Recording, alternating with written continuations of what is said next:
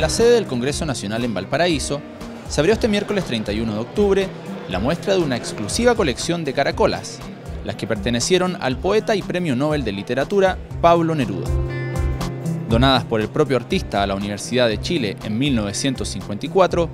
las caracolas de Neruda saldrán por primera vez a recorrer el país, comenzando por Valparaíso,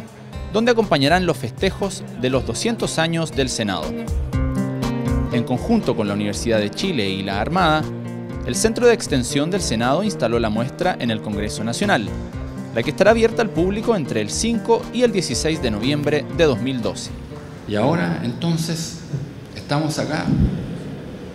seguramente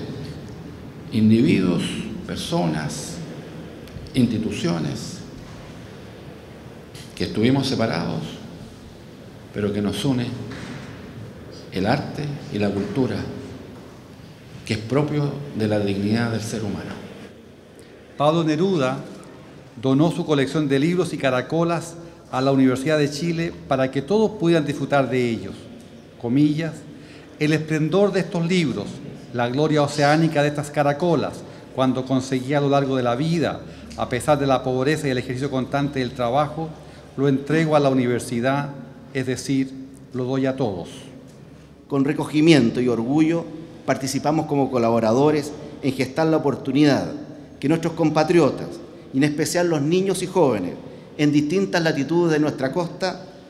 de nuestra querida patria, visiten y contemplen esta colección